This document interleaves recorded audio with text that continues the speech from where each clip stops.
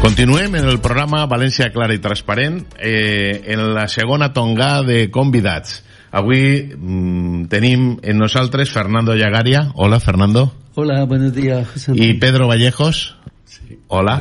Eh, són membres de Casa Xile València i sobretot les hem convidat perquè ja han fet moltes coses conjuntament, hem fet alguna projecció d'alguna pel·lícula i, i dir que Casa Xile València és un, un lloc molt actiu i que ara eh, tenen una nova idea, un nou projecte, que són la commemoració dels 50 anys del col d'estat a Xile en contra del govern de Salvador Allende i volíem que parlàrem un poquet pues, què esteu fent, perquè Xile està molt lluny però a la vegada molt prop de nosaltres eh, en un procés constitucional que se planteja en desembre una nova, un plebiscito sobre la qüestió, que a més eh, n'hi ha que recordar que la gent que, que vol canviar l'adreça postal o d'on viu eh, té temps fins a finals d'este de, de, mes, del mes de juliol, que pot fer-ho, que en la vostra pàgina web, i, bueno, pues, eh, com ha sigut esta exposició, que està en Comissions Obreres, que ja s'ha inaugurat, i que demà, a més, eh, n'hi ha una projecció d'una pel·lícula molt interessant. Contamos, Fernando o, o Pedro. Sí, eh, bien, como bien decías, eh, desde Casa Chile estamos organizando actividades que tienen que ver con la conmemoración de los 50 años del golpe de Estado en Chile. Las iniciamos el 22 de marzo con la historia de la Unidad Popular y hemos continuado después el 15 de abril presentando un libro, el 26 de junio eh, con una publicación especial de la revista nuestra del Copihue Rojo y eh, también eh, con una exposición de las arpilleras que está en este momento expuesta en el local del Sindicato de Comisiones Obreras. Y precisamente allí, mañana 6 de julio, vamos, eh, junto a la exposición, proyectar el documental Hilos de Esperanza, que tiene que ver con eh, lo que fue eh, el trabajo y la lucha de las mujeres chilenas eh, en, en, la búsqueda de los detenidos desaparecidos. Eh, és molt, seria molt interessant perquè, eh, clar, nosaltres en la documentació hem preparat coses però jo crec que el gran públic no sap això de les arpilleres, eh, què és això? perquè és un tema molt potent i molt emocional, ¿no? Contamos, Pedro, ¿qué es, qué es eso de las arpilleres y ese movimiento de arpilleres? ¿Qué es? Mira, las arpilleras básicamente es un trabajo hecho por mujeres en un eh, espacio físico reducido de tela eh, donde se van tejiendo diferentes eh, imágenes que en general presentan la situación histórica, personal, dramática de lo que se ha vivido. Es uh, una tradición antigua que en la América prehispánica ya era utilizada por mujeres durante muchísimos siglos para hablar de su condición, de sus tradiciones, de su educación. En, uh, en Chile en particular el poeta eh, Neruda eh, vivía en una pequeña isla que era famosa porque ahí se concentraban lo que se llamaba las tejedoras de eh, Isla Negra. Él compró una colección de esas, eh, esas piezas de, de, artesanía o de arte y las utilizaba para presentarlas en todas partes del mundo a partir del momento del golpe, como la práctica del asesinato puro y simple se hacía un poco compleja a nivel legal internacional, se utilizó otra práctica que fue el desaparecimiento. Se hacía desaparecer a las personas eh, se les contaba que seguramente estaban escondidas, que estaban en algún sitio, que estaban con otras personas para que no pudieran encontrarlas, para desorientarlas. Y esas mujeres pasaban principalmente esposas, madres, eh, familia, pareja, eh, pasaban semanas, eh, días enteros, meses buscándola y no tenían forma de eh, encontrar ni mostrar sus señas. Entonces empezaron a idear la posibilidad de que con los restos de la ropa de sus seres queridos eh, empezaron a dibujar imágenes, imágenes eh, muy claras, a veces muy precisas, que decían no más tortura, eh, devuélvanos nuestros desaparecidos, o a veces eh, totalmente implícitas, donde habían eh, imágenes globales, donde no había una sola palabra de discurso, pero donde se notaba con toda evidencia que se hacía una referencia a las personas desaparecidas. Eh, demà Eh, bueno, la història és impressionant i crec que les imatges de l'exposició, que les teles que n'hi ha també són impressionants. Eh, demà se presenta la pel·lícula eh, a les sis i mitja de la vesprada Contareu també en una persona, Emma Sepúlveda, que volíem que haguera vingut, però l'agenda no se ho ha permès. Quin paper està jugant Emma Sepúlveda en esta, en esta exposició i en esta presentació de la pel·lícula? Claro, eh, importantísimo porque entre otras cosas está a su cargo la exposición, por tanto ella es una colección particular que es eh, tremendamente eh, expresiva y enriquecedora, es muy amplia, ¿no? Por tanto, eh, abarca, diríamos, todo el trabajo que hicieron las mujeres en aquella época. Ella es escritora chilena, vivió en Estados Unidos eh, y hoy está en Valencia y nos acompaña en esta exposición eh, y estará también mañana para comentar, eh, hacer una visita guiada a la exposición y luego eh, en la proyección del documental nos acompañará también para comentarnos su desarrollo porque ella participó de este documental. Muy interesante. Bé, un documental que... De, què, de què parla? Perquè eh, el, la idea és una línia d'esperança, un tema de la pau. ¿Qué, qué, qué parla el documental? Bueno, es quizás un homenaje a las mujeres que se jugaron la vida en, en la búsqueda de sus eh, familiares eh, desaparecidos. Eh, por tanto, eh, era, es algo necesario, ¿no? Es una, es una reivindicación eh, necesaria y que seguro hasta incluso hoy en día no ocupa el espacio que, de importancia que en su momento tuvieron, ¿no? El movimiento chileno de resistencia primero surge eh, junto al, a, a, la Iglesia Católica o sectores más eh, progresistas y desde allí se inician las primeras eh, manifestaciones eh, de denuncia y de repudio a la dictadura. Eh, sí que és molt interessant aquesta lligam que tenim els valencians en Xile, sobretot perquè els germans Garcés, sobretot Joan Garcés, Vicent Garcés també, van estar al costat de Salvador Allende fins l'últim moment, no? Eh, quina, quina situació vegeu d'acollida del poble valencià a, a, a la història del poble xilè i sobretot en este 50 aniversari del col d'estat? Bien, yo eh, desde el principio, ¿no? Desde el principio, desde lo que fue el golpe de Estado, nosotros chilenos nos hemos sentido muy acogidos y muy bien acompañados, eh, tanto en el país valenciano como en el resto eh, de, de, España.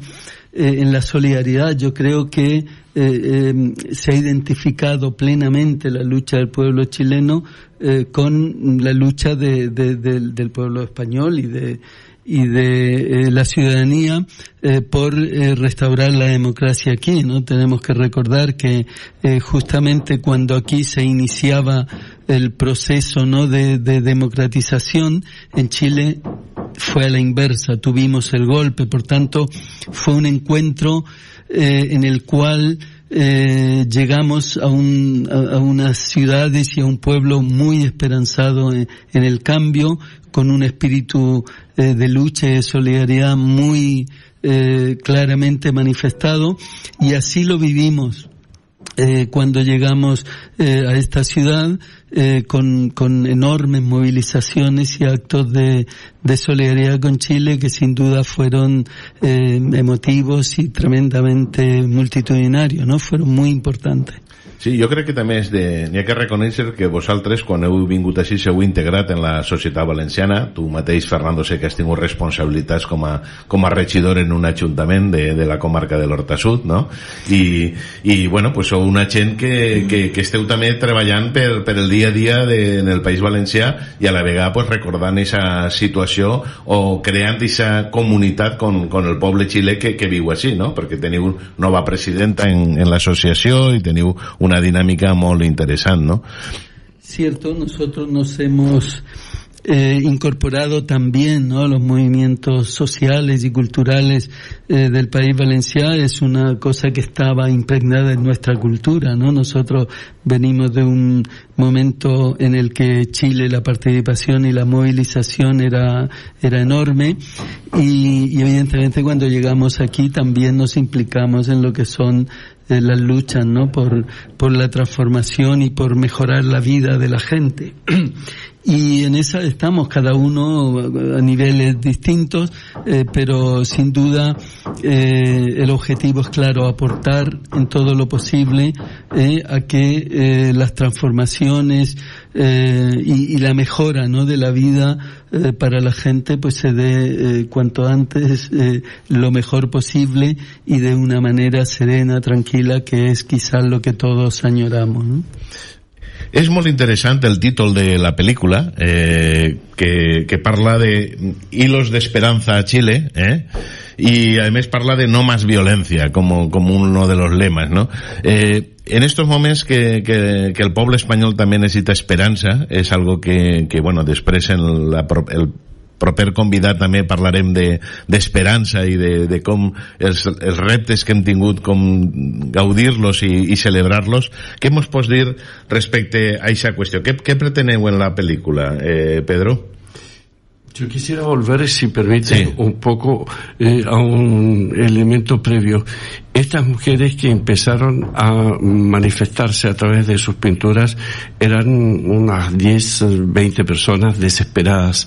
Eh, poco a poco se fueron transformando en varios miles, lo que constituyó en sí mismo un movimiento social reivindicativo con una fuerza extraordinaria a partir del momento en que se desarrollaron no solo fueron ignoradas, sino que fueron reprimidas y fueron en algunos casos desaparecidas.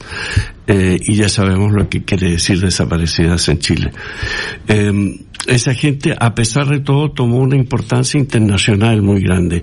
Hubo artistas, eh, poetas, eh, escritores, eh, artistas visuales, músicos, que le dedicaron muchas poesías, una, una música que se hizo muy famosa, que se llamaba Ellas bailan solas, porque justamente ellas, mujeres vestidas de negro, todas con un pañuelo bailando con un desconocido era una imagen tremendamente simbólica. Y yo creo que eso es un poco lo que se quiere eh, volver a retomar ahora. Eh, estamos en un proceso democrático globalmente con muchísimas dificultades, pero la búsqueda continúa. Eh, pues moltes gràcies. Eh, sabeu que havíem convidat a Antonio Mansilla, que és un productor valencià, que està preparant una sèrie sobre, sobre Allende, i, bueno, les seues obligacions no ha pogut eh, canviar un tema d'agenda que té en Madrid, perquè més és el president d'ara de la Soy de Productor. És un gran projecte en el qual n'hi ha coproducció xileno, argentina i, i espanyola en València, i, i bueno, pues serà una sèrie eh, de ficció sobre els últims dies de, de Allende, en la qual cosa pues, esperem que puguem fer una estrena i ajudar tots a fer una estrena en València eh, xula i de més. Televisió espanyola també entra i entra en altres televisions, no?